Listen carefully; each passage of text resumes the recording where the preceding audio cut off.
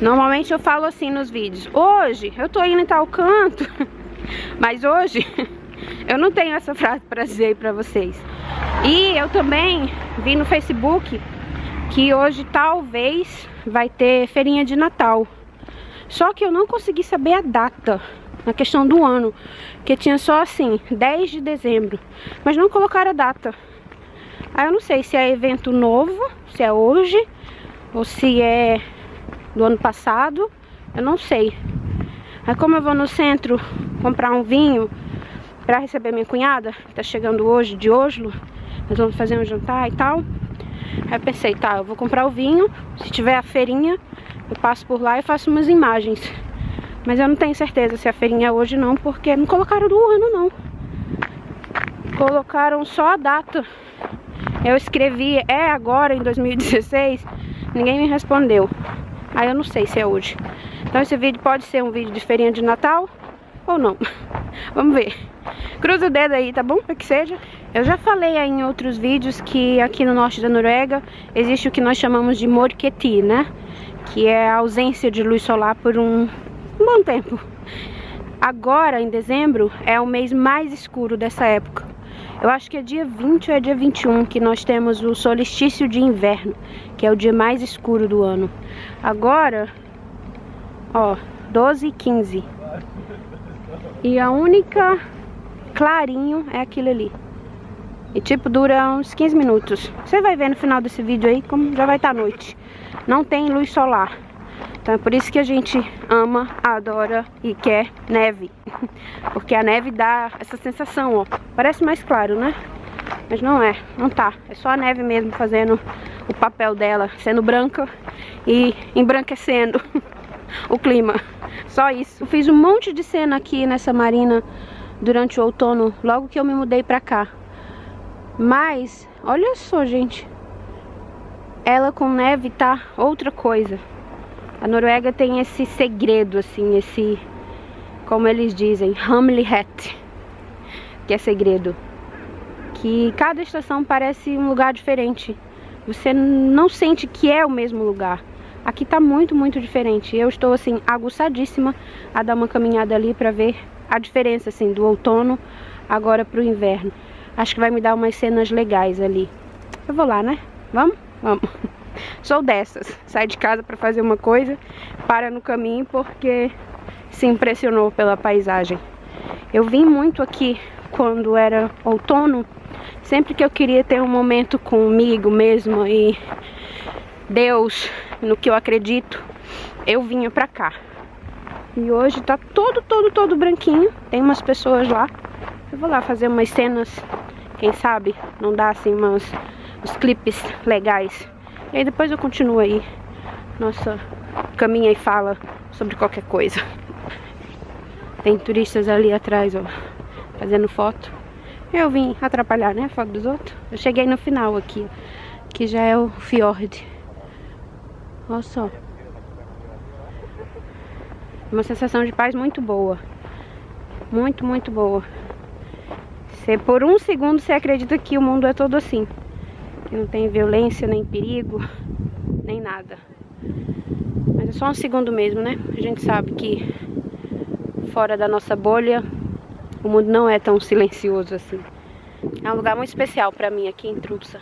E é no meio da cidade, ó. No meio da cidade.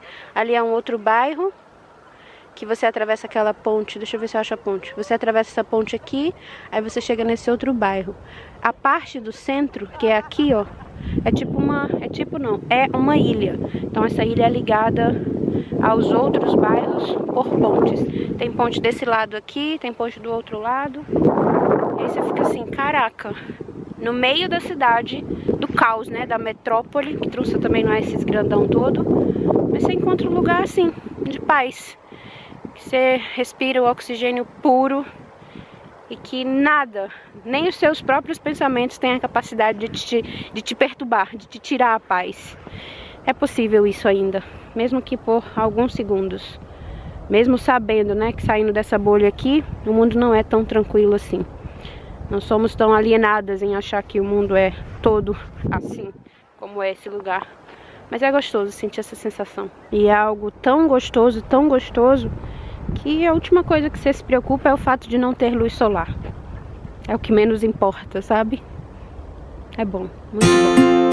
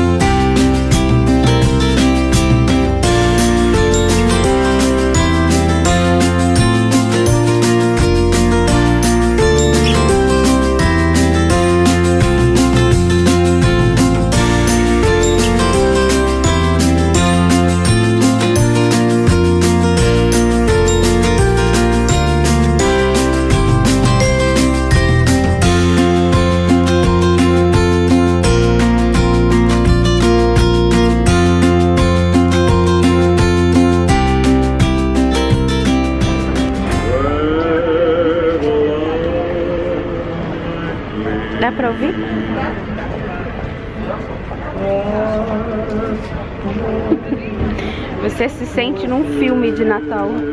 O clima, o frio. E a música? Você diz ok, esqueceram de mim seis ou sete, né? Porque eu não sei quantas, quantas vezes esse filme já teve. Mas eu tô me sentindo dentro do filme Esquecer de mim. Onde está Macaulay Culkin? Sim, eles estão dando uma estrela pra você pendurar ali com uma saudação para alguém. Eles, eles escreveram ali, é Vendo Tanque Pó. Em quem você pensa? Ó, tem biscoitinho de Natal. Aí eles dão uma estrela, que é adesivo. E ele diz Yai Tanque Pó. Eu vou escrever Brasil. Fodi.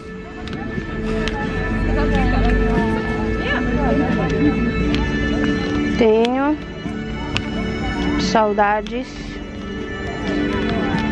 do sol.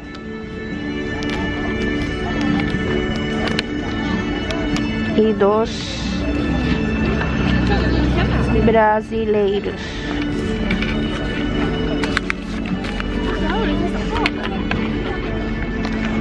Eu escrevi o que veio à minha mente. O sol é uma das coisas que eu mais sinto falta daí. E as pessoas. Eu acho que é a única coisa que eu não posso ter aqui, aí do Brasil. São as pessoas e o sol o ano todo. Eu vou colar a minha ali. E eu tô querendo chorar, mas eu não vou. Você... Eu tirei. Ah, eu borrei, gente, mas ó. Eu passei o dedo em cima, então eu borrei. Mas eu vou colar a minha ali.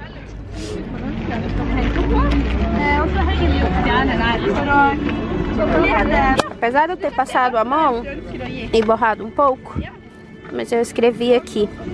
Feliz Natal pra vocês, desde já. Eu vou pegar um pepper cake pra provar junto com vocês. Kan jeg få en pepperkake? Ja, bare ta. Takk skal du ha. Ha en fin dag. Jo, takk i like måte. Ó, peguei dois pepper cake, que são os biscoitos de Natal que é feito nessa época do ano. Esse é no formato de porquinho, deixa eu ver o outro. É no formato de, acho que uma ovelha, acho que é. Quando eu vi isso aqui a primeira vez que eu li, eu falei pepper cake. Pepper é pimenta, né? E cake é bolo. Eu disse, gente, bolo de pimenta? Mas depois eu provei e não é com pimenta. A base é canela e gengibre.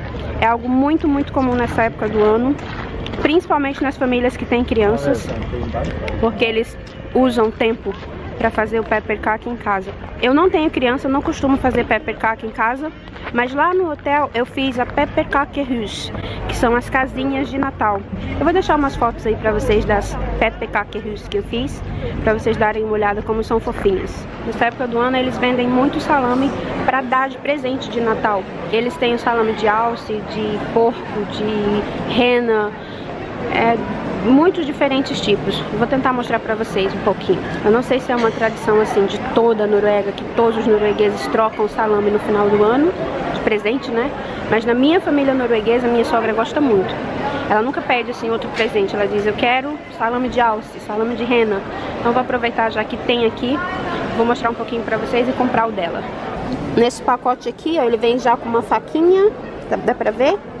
E uma geleia aqui embaixo e um pãozinho muito típico daqui, pra você comer o salame em cima. Esse é um ótimo presente pra quem gosta. Pode vir assim já na tábua pra você cortar. Esse aqui, ó, um é de alce. O outro eu não tô conseguindo ler de que que é, mas é feito aqui em trunça. Também a coxa da ovelha. Aqui é pra provar. Está provendo. Muito bom, gostoso. Eu gosto. Eu comprei o salame para minha sogra. Vou mostrar para vocês essa vermelha aqui mais forte. É o que eles chamam de Festepolsa, que ela é feita com akvit, que é um tipo de cachaça norueguesa feita à base de batata. Essa branquinha é o salame 20, que é com carne de porco. E essa última aqui, mais vermelha, ela é feita com vinho tinto. É mais vantagem você comprar assim três miniaturas, porque tem três diferentes sabores, que você comprar só uma grandona e ter só um sabor. É uma tradição muito comum na minha família norueguesa. Essa é a única coisa que a minha sogra pede de presente de Natal. E aí nós sempre damos pra ela. A gente compra assim um kit, né? Eu não comprei aquele com a tábua porque ela já tem muita tábua lá. Todo ano a gente dá tábua. Então eu comprei só assim.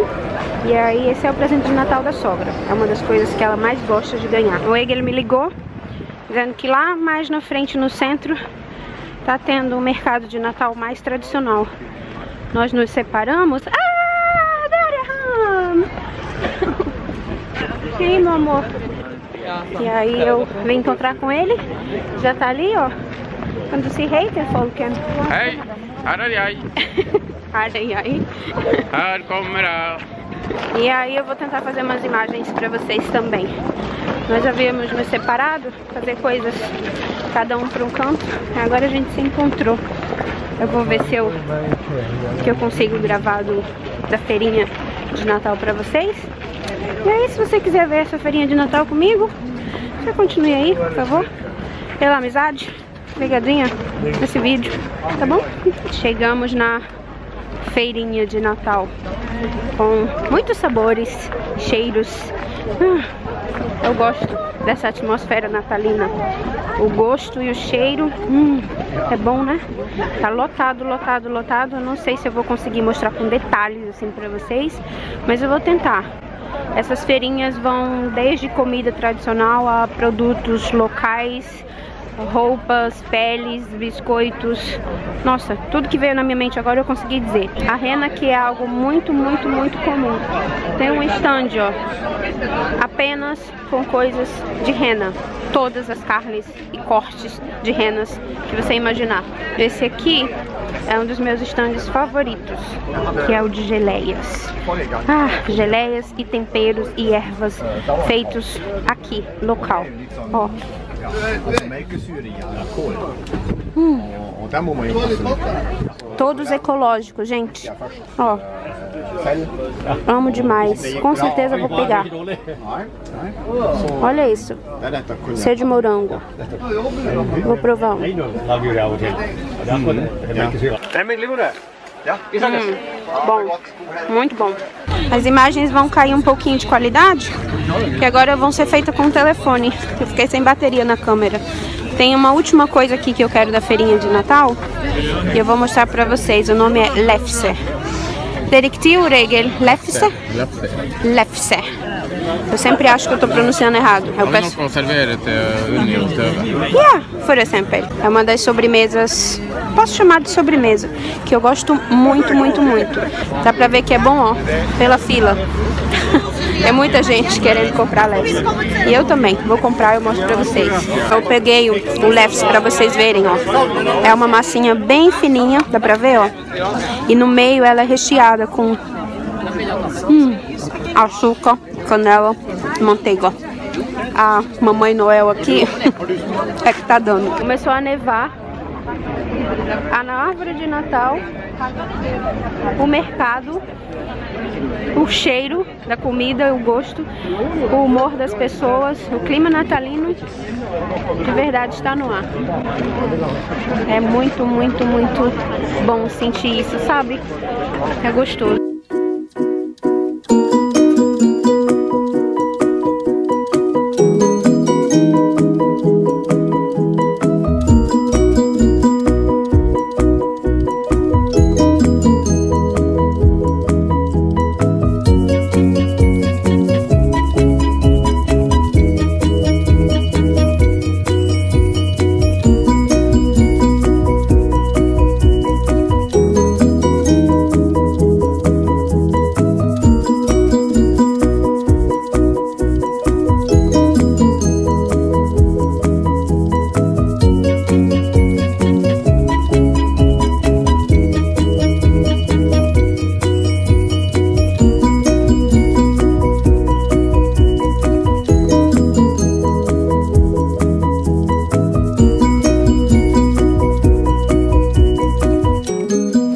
Tá muito, muito, muito bonito, gente. Aqui realmente dá pra você sentir a magia do Natal. É diferente. Tem uma... Não sei, não sei explicar. Tem um gosto diferente, sabe? Uma magia diferente que mexe mesmo com seus sentimentos. Pelo menos com os meus sentimentos, né? E aí a gente se vê no próximo vídeo, tá bom? Um beijo, fica com Deus e tchau. E desde já, Feliz Natal!